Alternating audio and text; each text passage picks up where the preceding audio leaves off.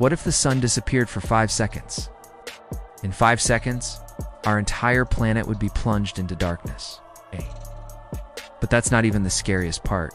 V. The sun is so massive that if it were to disappear, the Earth would continue to spin forward with no light for several hours until it hit the Earth's atmosphere. At this point, people would start to panic. They'd think the world was ending. They'd look up in the sky and see the stars for the first time in their lives. But then something incredible would happen. Because without the sun's gravity holding everything together, the Earth would slowly start to drift away from the sun. And as it drifted, it would continue to spin, which would cause massive storms and earthquakes.